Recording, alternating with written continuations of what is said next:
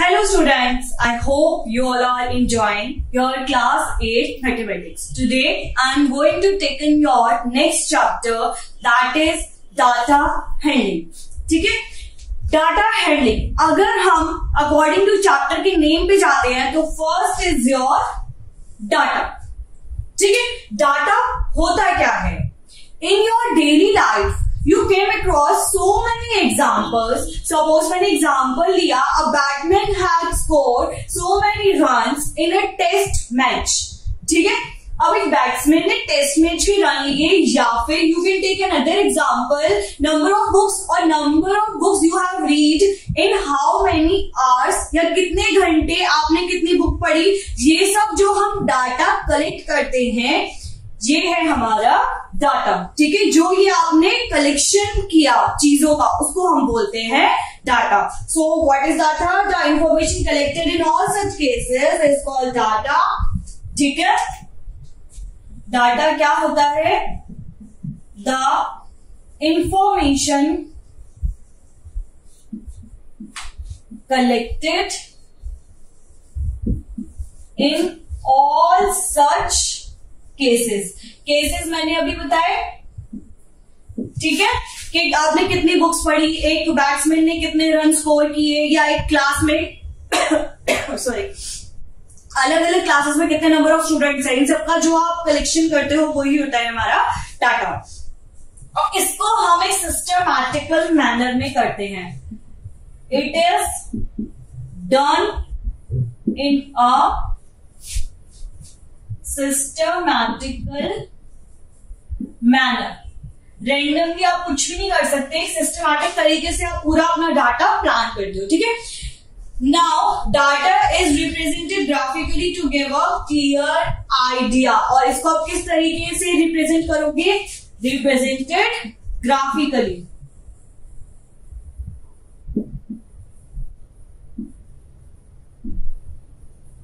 ठीक है? अब ग्राफिकली आप इसको पढ़ते कैसे हो? अपनी लास्ट क्लास में आपने दो पढ़ रखे हैं। First is your pictograph and second is your bar graph ठीक है? तो फ़र्स्ट देखते हैं हम पिक्टोग्राफ पिक्टोग्राफ पिक्टोग्राफ से कुछ आपको क्लियर हो रहा है कि ये क्या हो सकता है। Picto pictorial representation of data using symbols what is pictograph जब आप सिंबल्स को यूज़ करके किसी भी डाटा को रिप्रेजेंट करते हो, उसको हम बोलते हैं पिक्टोग्राफ सपोज़ मुझे बॉल्स का डाटा रिप्रेजेंट करना है, ठीक है? कि कितनी नंबर ऑफ़ बॉल्स एक बॉलर ने यूज़ करी होंगी इन हेज और अपने ओवर में, ठीक है? इन हेज ओवर कितने नंबर ऑफ़ बॉल्स होंगे? उसको मैं कैसे रिप्रेजेंट करूँगी? सपोज़ मैंने कर दिया one two, three, four, five, six. ठीक है? उसने अगर एक ओवर प्ले किया तो उसने कितने नंबर ऑफ़ बॉल्स थ्रो करी? सिक्स नंबर ऑफ़ बॉल्स तो ये आपने पिक्चर से गैस कर लिया कि किस तरीके से आप अपना डाटा शो करना चाहते हो, ठीक है? Next is your bar graph अब ये बार ग्राफ क्या है? बार की हेल्प से a display of information using bars of uniform with their height being proportional to the respective values ठीक है? हम बार्स की हेल्प से अपना डाटा रिप्रेजेंट करते हैं। ठीक है? सपोज़ किसी स्कूल का एक एकेडमिक ईयर है। This is your academic year year कहाँ से कहाँ से होगा सपोज़ मैंने स्टार्ट किया अपना ईयर 2003 2004 2004 2004 2005 2005 2006 2006 2007 2007 2008 2008 2009 इन 2009 एंड 2010 ठीक है, ये मैंने एकेडमिक ईयर्स लिए हैं किसी भी स्कूल के और number of students in class eight हम लेंगे यहाँ पर। Number of students in class eight suppose यहाँ है five ten fifteen twenty twenty five, thirty thirty five, forty forty five, and fifty. ठीक है? अब मुझे शो क्या करना है? मुझे हर एक साल में एट क्लास में कितने बच्चे होंगे, वो अपने डाटा को शो करना है। ठीक है? पहले है मेरा अकेडमिक ईयर 2003-2004 तो सपोज़ इसमें मेरे पास थे 25 स्टूडेंट्स ठीक है? तो मैंने ये ग्राफ यहाँ तक ले लिया, बार। नेक्स्ट मेरे पास आए 35 तो मेरा ग्राफ यहाँ बार यहाँ पहुँच गया। उससे नेक्स्ट ईयर मेरे पास रह गए सिर्फ़ थर्टी स्टूडेंट्स तो मेरा ग्राफ यहाँ पहुँच गया। 2006 2007 में it come out to be 40 तो ग्राफ और चला गया ऊपर। उसके बाद मेरा अगेन थर्टी हो गया तो मेरा बार ये रहा। देन मेरे पास थे फोर्टी फाइव तो मेरा बार यहाँ होगा। और then last is my fifty ठीक है? This is how we are going to represent या we represent our bar graph ठीक है? यहाँ तक क्लियर हो गया कि किस तरीके से आप अपना बार ग्राफ रिप्रेजेंट करते हो। एक चीज़ हमेशा ध्यान रखना ये जो डिस्टेंस होते हैं, जो आप फ़र्स्ट नंबर लोगे, वहीं से करोगे। अगर सपोज़ मैंने यहाँ टू से स्टार्ट किया होता तो इसका गैप भी सिर्फ़ टू टू डिजिट्स का ही होता। मैंने यहाँ फाइव से स्टार्ट किया है दैट मीन्स ये यहाँ इसलिए five ten fifteen twenty twenty five ये सब होगा। हमेशा ग्राफ्स की साइजेस को हमेशा ध्यान रखना। ठीक है? उसके बाद आता है हमारा double bar graph bar graph clear हो गया कि हम किस तरीके से शो करते हैं अपने डाटा को? थ्रू द बार्स और पिक्टोग्राफ में आप with the help of pictures you represent your data next is your double bar graph और डबल बार ग्राफ से तो हमें क्लियरली समझ आ रहा है कि इसके अंदर हम कितने यूज़ करेंगे?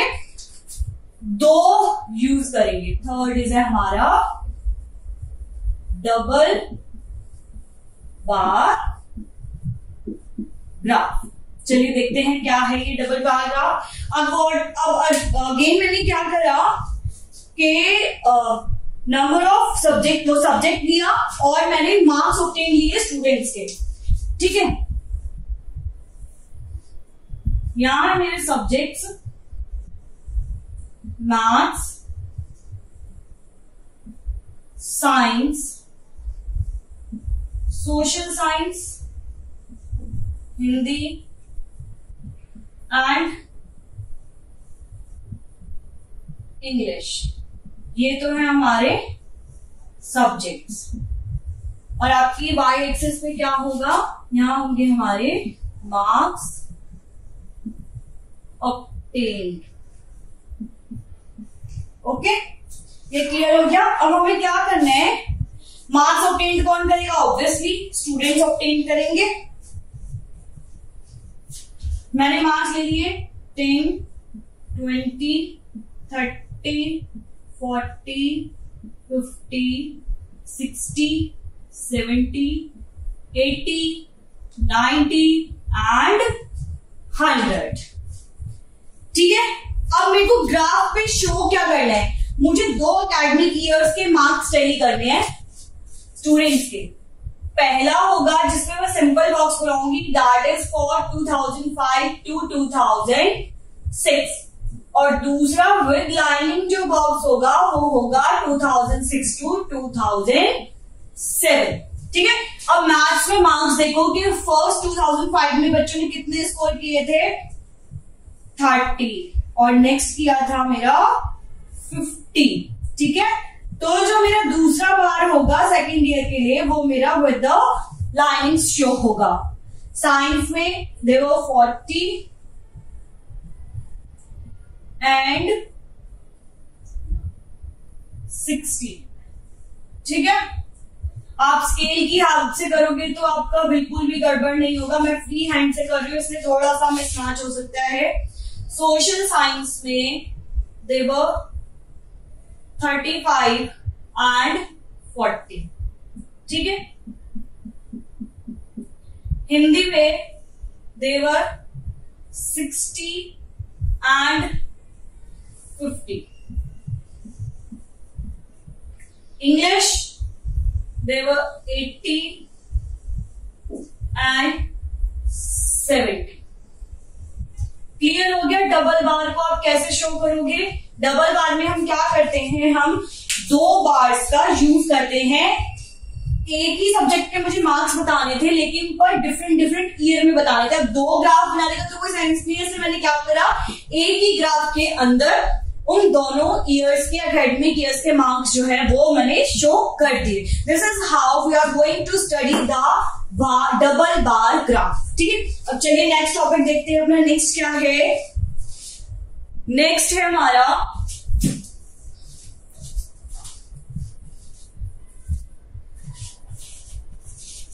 Next is our organising data data available to us is in in unorganise form called raw data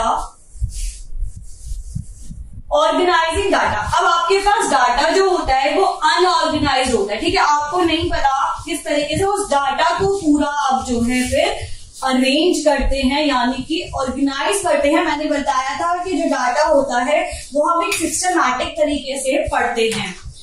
ठीक है? सो ऑर्गेनाइजिंग डाटा जो भी हमने डाटा सपोज़ हमने नंबर ऑफ़ स्टूडेंट्स के मार्क्स ऑप्टेन किए, ठीक है? In the academic year 2005 and 2006 ठीक है? 2005 टू 2006 2006 टू 2007 अब हमें तो ये रैंडम मार्क्स दे दिए कि भाई इस, इस बच्चे के इतने इस बच्चे के इतने हमें उनको टैली भी करना है तो हम क्या करेंगे पहले उसको ऑर्गेनाइज वे में लिखेंगे। ठीक है? कैसे लिखेंगे? या तो आप अल्फाबेटिकली सारे मार्क्स अरेंज करो या फिर सबसे पहले सबसे लोएस्ट फिर उसके बाद हाईएस्ट हाईएस्ट हाईएस्ट किस तरीके से अरेंज करो। इट्स अप टू यू कि आप कैसे अरेंज करना चाहते हो और अकॉर्डिंग टू द क्वेश्चन कि क्वेश्चन में किस तरीके की नीड है। This is how we are going to organise our data next is our frequency अब फ्रीक्वेंसी क्या होती है? अब हमने डाटा तो अरेंज कर लिया। ठीक है the number of tallies before each subject give the number of students who like that particular subject ठीक है? होता क्या है फ्रीक्वेंसी में? कि जैसे आपने मार्क्स ऑप्टेन करे। सपोज़ मेरे मैथ्स में 40 टू 50 10 स्टूडेंट्स थे। ठीक है? तो टेन मेरा क्या होगा कि नंबर ऑफ़ टाइम्स कितने बच्चों ने 40 टू 50 मार्क्स स्कोर करे, वो मेरी 40 टू 50 मार्क्स की फ्रीक्वेंसी होगी। ठीक है? ये मेरा टैली होगा। देखिए इसकी टेबल कैसे बनाते हैं हम? फ्रीक्वेंसी डिस्ट्रीब्यूशन टेबल बोलते हैं इस टेबल को हम। ठीक है? Let see how we are going to make it ठीक है? यहाँ क्या होगा हमारा? सब्जेक्ट यहाँ होगा मेरा टेलीमार्क्स यहाँ होगा मेरा फ्रीक्वेंसी चलिए, पहले मैंने सब्जेक्ट लिया arts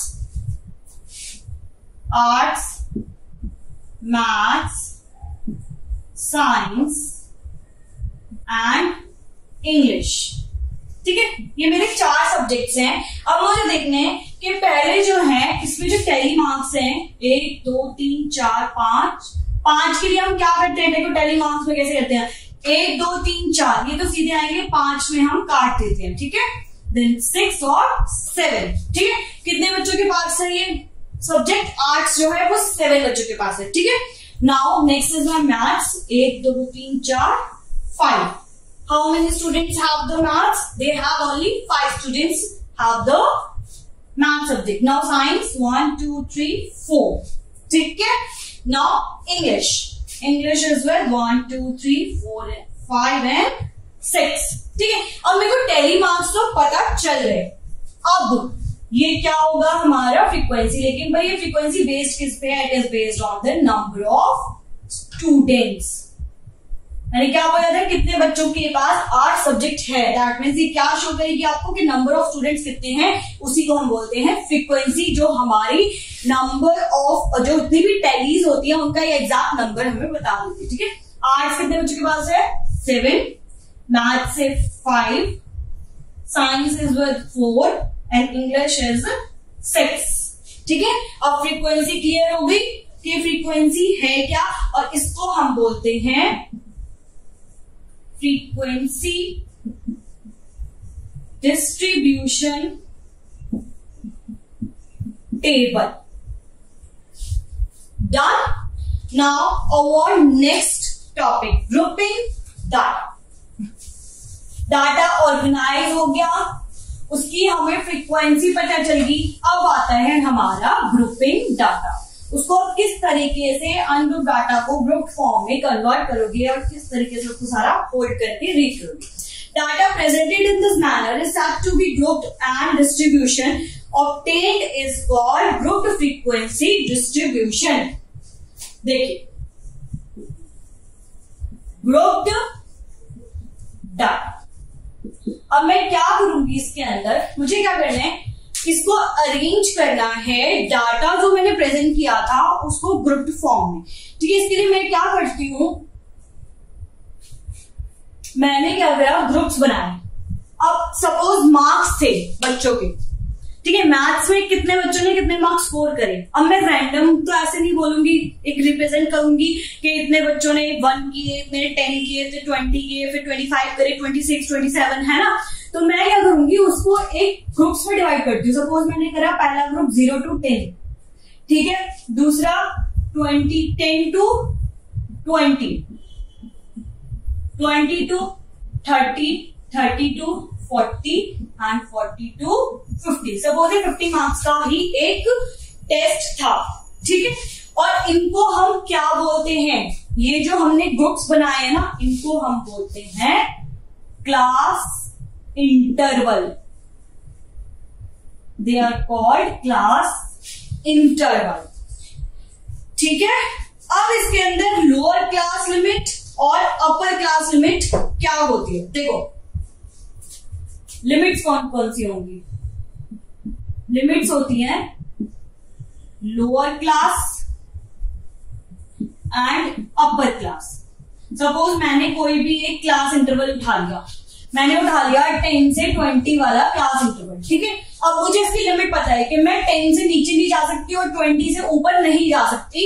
Marks number of marks number of students लिखने में इसके बीच में कि कितने बच्चों ने कितने स्कोर किए होंगे। ठीक है? तो मेरी इसके अंदर लोअर क्लास की लिमिट क्या होगी? वो होगी टेन और अपर क्लास की लिमिट क्या होगी? दैट इज़ ट्वेंटी ठीक है? अब यहाँ तक क्लियर हो गया कि लोअर क्लास लिमिट और अपर क्लास लिमिट क्या होती है?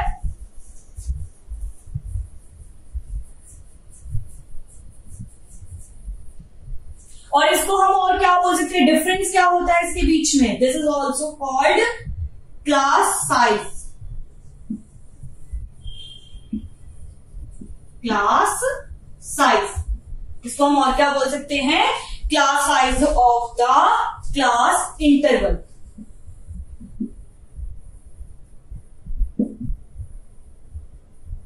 lower class upper class limit और क्लास इंटरवल फ्रीक्वेंसी समझ आ गया? फ्रीक्वेंसी तो वो थी कि कितने नंबर ऑफ़ टाइम्स वो रिपीट हो रहा है, या फिर उसके बीच में कितने नंबर ऑफ़ स्टूडेंट्स हैं।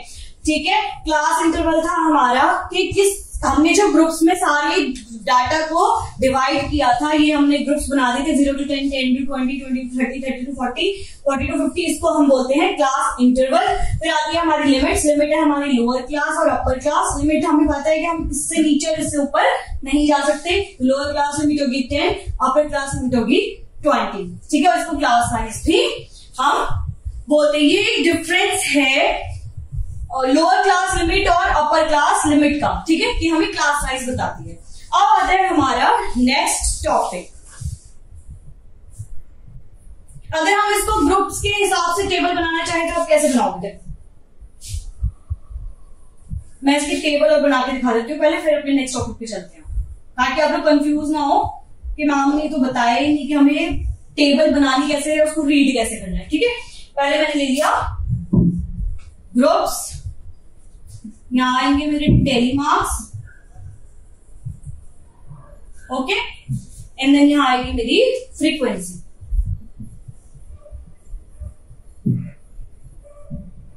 सपोज़ मैंने marks of class eight maths ले लिया। Marks of class eight mathematics मैंने ग्रुप्स डिवाइड कर दिए किसमें मार्क्स में। जैसे ज़ीरो टू टेन कितने बच्चों के होंगे? Ten to twenty twenty to thirty thirty to forty और फोर्टी टू फिफ्टी ये कितने कितने बच्चों ने स्कोर किए होंगे? ठीक है? सपोज़ ज़ीरो टू टेन किए, दो बच्चों ने टेली मार्क्स ये है, फिर टेन टू ट्वेंटी के टेन ने one, two, three, four, five, six, seven, eight, nine, ten. ठीक है? ट्वेंटी टू थर्टी किए ट्वेंटी वन स्टूडेंट्स ने। One, two, three, four, five, six, seven, eight, nine, ten, eleven, twelve, thirteen, fourteen, fifteen, sixteen, seventeen, eighteen, nineteen, twenty twenty one. ठीक है? Thirty to forty की है। Nineteen में।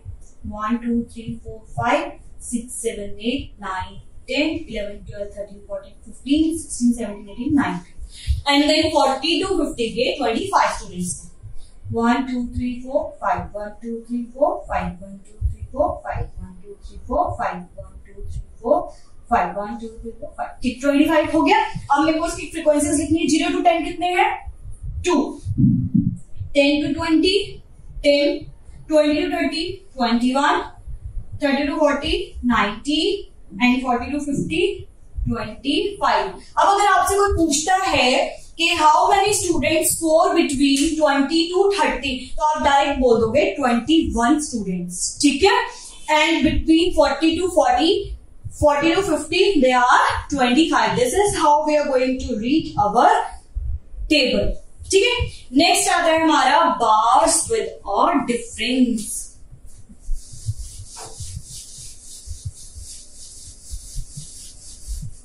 अभी तक हमने बार किया कि सिंपल बार और डबल बार ठीक है? अब आते हैं कि इसकी डिफरेंस के साथ इसको कैसे आप रीड करोगे? बार कैसे शो करोगे? लेट सी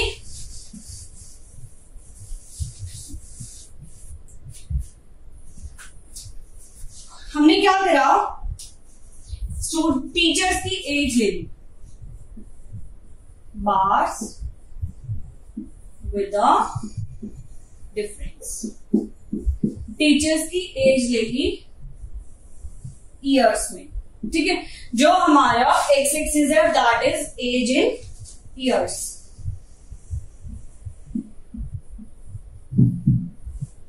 और अपना जो हमारा वाई एक्सेस उसमें हमने लिया नंबर ऑफ़ टीचर्स एक स्कूल में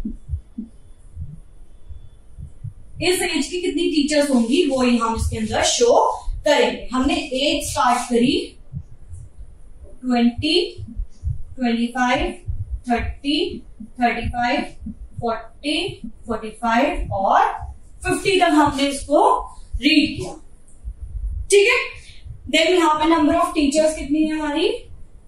One two three four five six seven eight nine और टेन अब देखो, मैंने एक ये साइन लगाया यहाँ पे। अब ये साइन है क्या?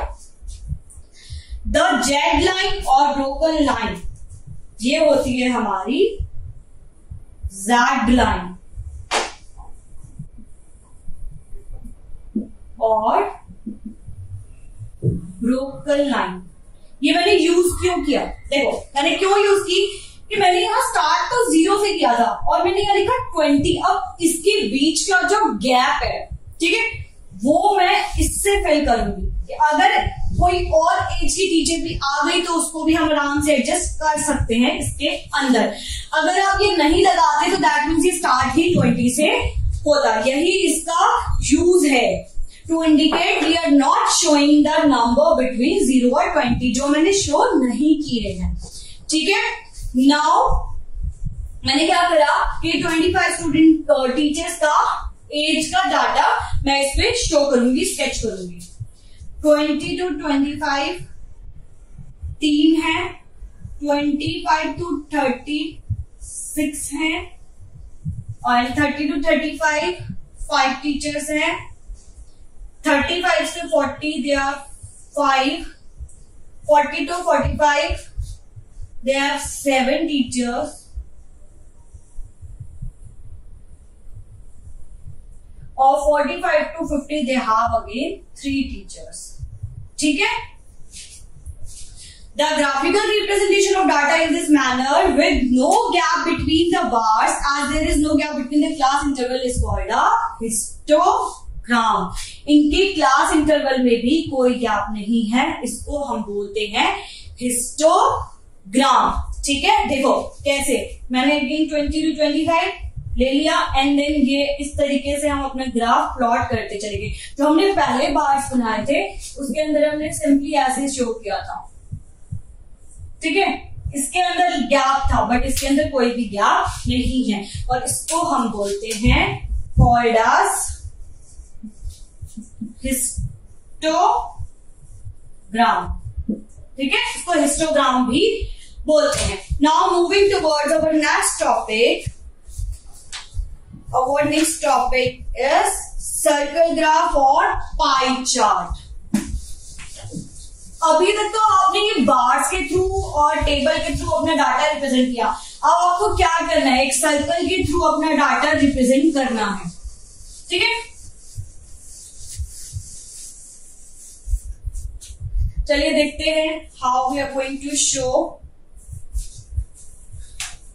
a circle graph और a pie chart circle graph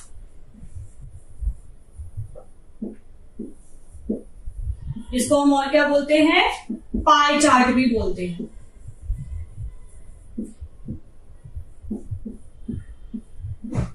है और shows the relationship between a whole and its part here the whole circle divides into sectors देखो, हम एक स्टूडेंट की एक्टिविटी को शो करने वाले हैं with the help of the circle which we are going to divide into different parts एक circle को हम डिफरेंट पार्ट्स में डिवाइड करके देन एक स्टूडेंट की एक्टिविटीज़ को शो करेंगे कि वो कितने घंटे क्या क्या काम करता है।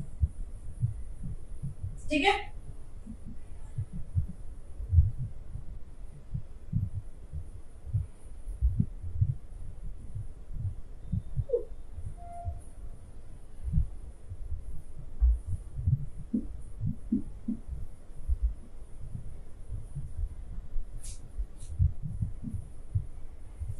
स्लीप करता है eight hours six hours the student use to in school three hours play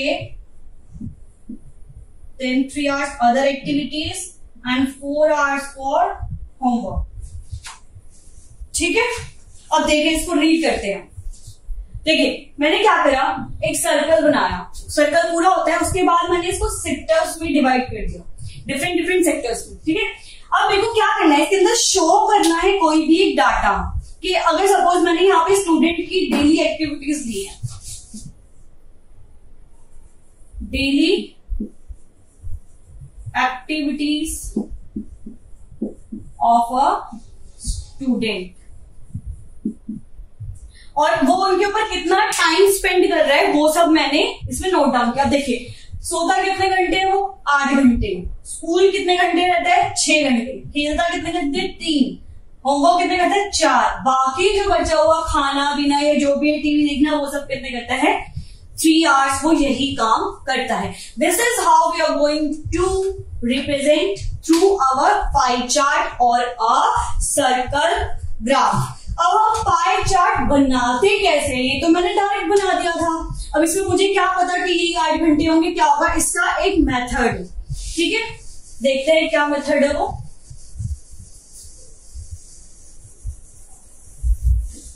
Drawing pie chart pie chart को आप ड्रॉ कैसे करोगे?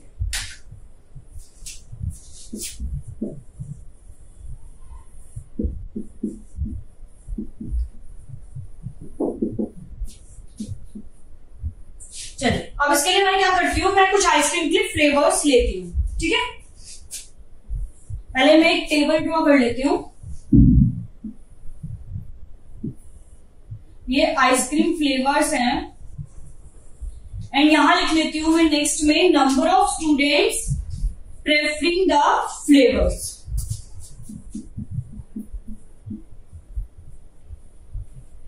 या फिर लाइकिंग द फ्लेवर्स जो उनको अच्छे लगते हैं। चलिए देखते हैं। पहला है हमारा चॉकलेट वनीला। ठीक है? एंड अदर फ्लेवर्स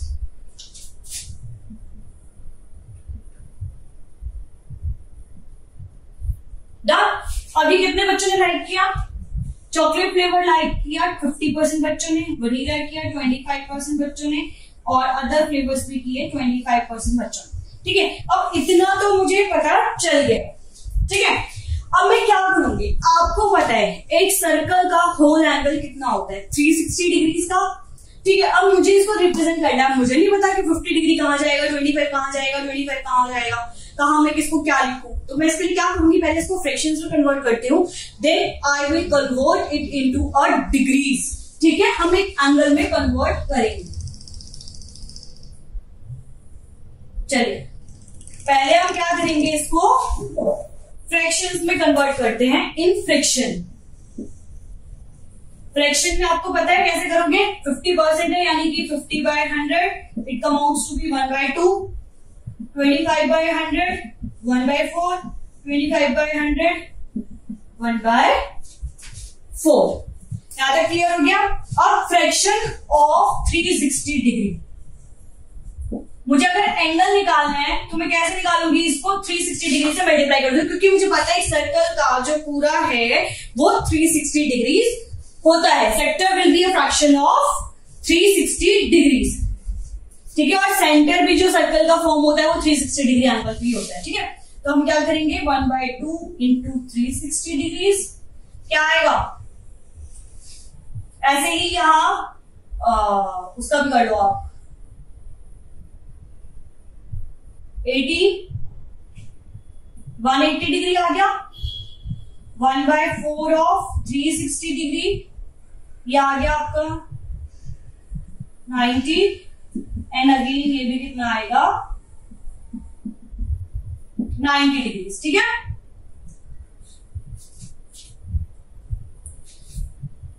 समझ आ गया? तो यहाँ मेरे पास क्या आ गया? यहाँ मेरे पास अब तीनों एंगल आ गया। मैं क्या करूँगी? मुझे पाई चार्ट ड्रॉ करनी पहले तो क्या करो? 180 डिग्री का एक रेडियस और सर्कल लेकर एक सर्कल ड्रॉ करो विद सेंटर एंड रेडियस कितने भी, उसकी ले लो आप, ठीक है? मैंने ये ले लिया। ठीक है? अब मुझे पता है मेरा पहला क्या है? 180 डिग्री है। तो 180 डिग्री है ना मेरा। ठीक है? एंड बाकी के नेक्स्ट कितने हैं? 90 90 तो मैंने 90 डिग्री के एंगल बना दिए। ये मेरा फ्लेवर कौन सा होगा? चॉकलेट का। ये हो गया वनीला का। ये हो गया। अदर फ्लेवर ठीक है? क्लियर हो गया? किस तरीके से आप इसको ड्रॉ करोगे? ए बी एंड सी ये हमारा ओ है। जो हमने सेंटर और रेडियस लिया। This is how we are going to draw a pie chart ठीक है? नेक्स्ट आता है हमारा चांस और प्रोबेबिलिटी चांस और प्रोबेबिलिटी प्रोबेबिलिटी शायद आप लोगों को बताओ। आप लोगों ने अपने डेली लाइफ में ऐसा कहते हुए सुना होगा it's going to be rain today बादल जब कभी होते हैं तो हम कहते हैं ना कि आज तो बारिश होगी। लेकिन पर उसके चांसेस कितने होते हैं? दो ही चांसेस उसके। या तो होगी या नहीं होगी। फिफ्टी फिफ्टी पर चांसेस होते हैं। ऐसी अगर आप किसी कॉइन को टॉस करते हो, या तो हेड आएगा या फिर टेल आएगा तो वही होती है हमारी चांस और प्रोबा पिलिटी ठीक है? डेली रूटीन का एग्ज़ाम्पल उठाया, बारिश का, कि या तो बारिश बादल है तो बारिश होगी, अगर हवा चल गई बादल चल जाएँगे तो बारिश नहीं होगी। और अगर आपने कोई एक टॉस किया तो या तो टेल आएगा या हेड आएगा, ठीक है? यही होती है हमारी प्रोबेबिलिटी लिख लो ये है क्या? There are certain experiment whose outcome certain experiment whose outcomes ठीक है? Have an equal chance of occurring have and equal chance of occurring. Example बारिश होगी या नहीं होगी, या फिर टॉस उसके बाद आता है हमारा नेक्स्ट रैंडम एक्सपेरिमेंट अब रैंडम एक्सपेरिमेंट क्या होता है? It is one whose outcome can not be predicted exactly in advance ठीक है? क्या है? Random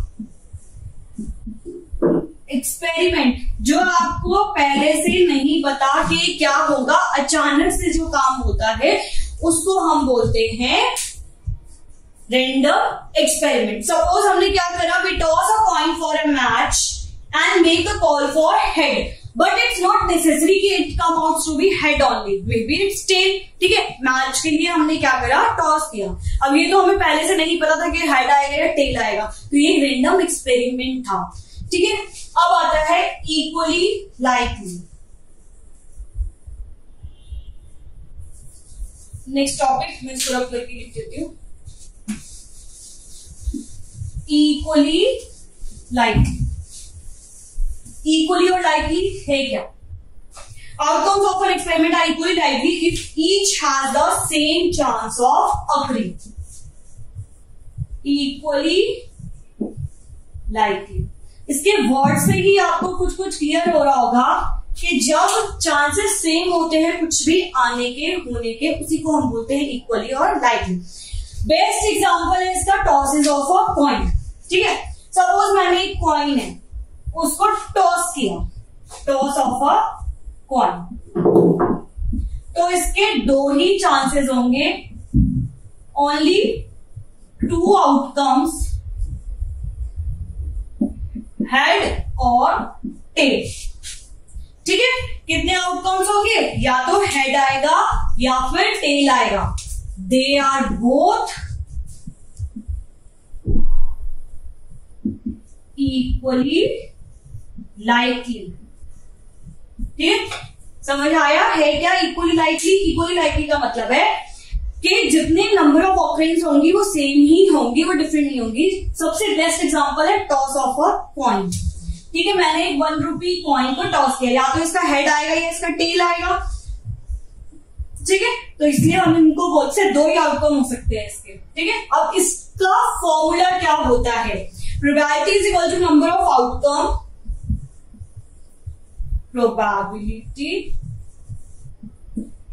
equals to number of outcomes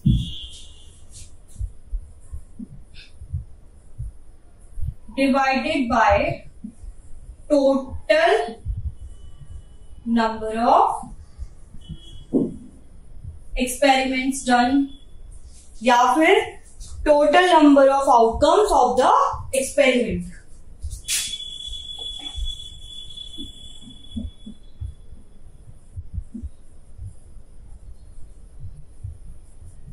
और ये होगा मैं number of outcome of the experiment देखिए कैसे। नंबर ऑफ़ आउटकम कितने होंगे? एक कॉइन को टॉस करने के।